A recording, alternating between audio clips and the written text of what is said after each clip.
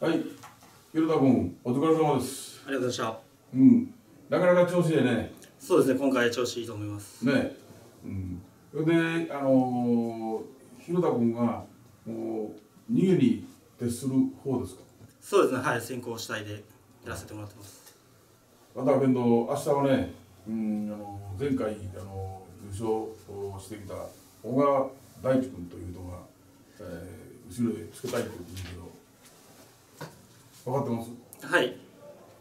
で、この人とは走ったことある？は一度もないです。ねいつもない。ってことは、こっちの方がちょっと予選から走るもんね。そうですねはい。うん、今回も前回ちょっと優勝してから今回もまあまあ強いみたいな気がするけどまあ広田君の強さにはかなわんけど明日は誰かに抑えられて先行せられるということもある？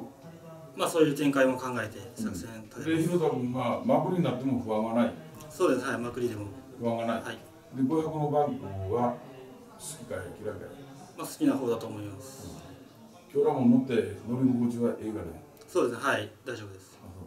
じゃあ朝まあ主体としては先行主体に乗ってレースを始めてそれから何かの時はもうねまくりも何でもするせないからね。そうです。ねはい自信はある？自信ははいもちろんあります。あじゃあ明日はそういうことであの頑張ってください。はいはいよろしくお願いします